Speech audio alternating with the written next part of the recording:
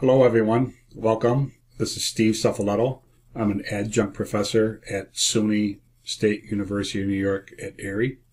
We were formerly known as Erie Community College or ECC. We're a two year junior community college and we have a program in printing graphic arts. Today's presentation, I want to talk to you about how you calculate density with filters. So if we take a look at the title of this graph here, I'm saying that if you take a process color ink, cyan, magenta, and yellow, and you look at it through a particular filter, red, green, and blue, you can calculate its density. So this graph here on the horizontal bottom axis has wavelengths of light, visible light, from 400 nanometers to 700 nanometers. Below 400 nanometers is ultraviolet UV, and above 700 nanometers is infrared IR, thermal heat energy. By the way, a nanometer is the wavelength of light, and a nanometer is one billionth, would it be one billionth of a meter, so 10 to the minus 9.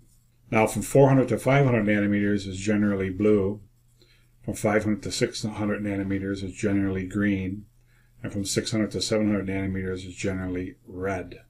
Notice where blue and green combine, you get cyan, and where green and red combine, you get yellow. On the vertical axis to the left is percent light. Now, it can be percent light transmission, transmittance, or it can be light percent light reflection. So all you need to know is that this is less light and this is more light.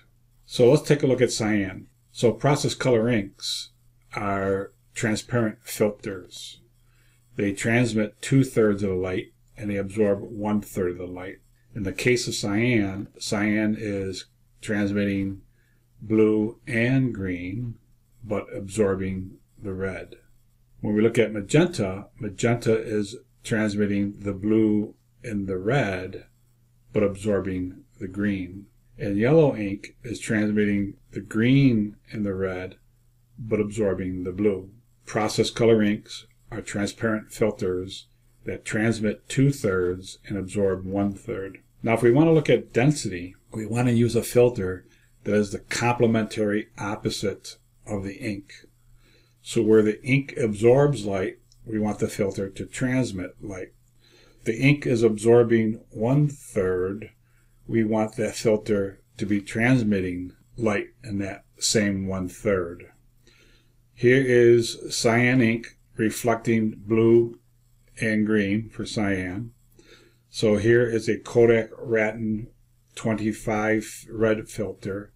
It is transmitting the red. So what we want to do is have a signal to noise ratio. We want to maximize the wanted signal density and filter out or minimize the unwanted noise. Because density is darkness, D for density, D for darkness, we want the filter to transmit where it's absorbing the light.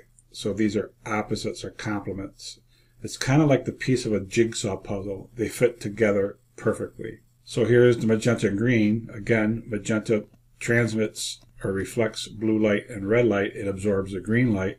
So we want to have a filter that allows light to pass where the ink is absorbing. So this is a Kodak Wratten number 58 filter. And here's an example of yellow ink. So yellow ink is reflecting or transmitting light in the green and red area, absorbing it in the blue. So we want to have a filter that reflects or transmits the blue light. Now there is a special case here. We have what we call status T densitometry. And status T densitometry is 47 blue, 58 green, 25 red. However, there is also a status E filtration, E for Europe, where they use a narrower band. Uh, status T densitometry is about 100 nanometers wide, their wideband filtration bandpass. So the status T, the status E filter, 47B, lets less light in, and because it lets less light in, it'll have a higher density. And then I also just wanted to show you three other filters that are commonly used. We have these neutral density ND filters.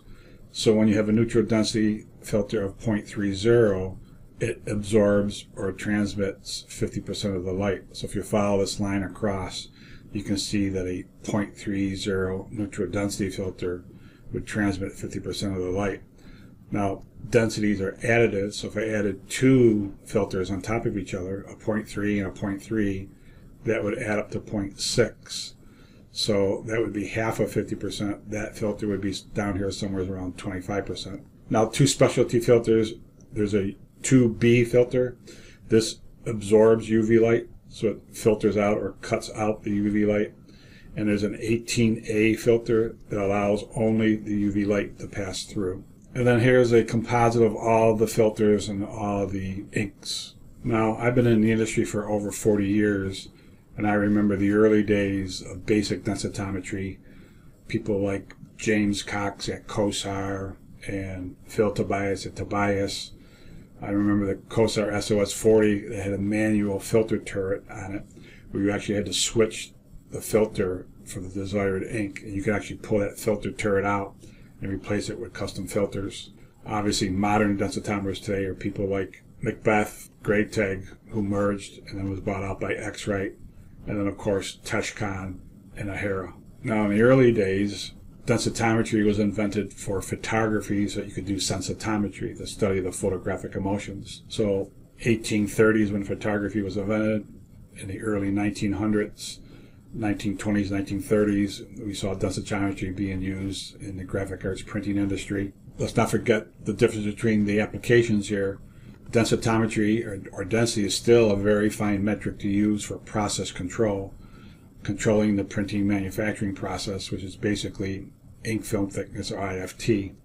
So generally, the thicker the ink film thickness, the higher the density, and the thinner the ink film thickness, the lower the density. Now that's not true in all cases, but that's a general relationship. Now what happens if you want to measure an ink that is not a process color ink, namely cyan, magenta, and yellow? Well, now you get it into spot colors or the Pantone PMS colors. And a general rule of thumb there is you want to use the filter that gives you the highest density. Now, the modern densitometers allow you to make a custom narrowband filter for that density response. Measure the spectral curve, find its deepest valley at the absorption, uh, which is its highest density, and then you use a custom narrowband filter to report the density there.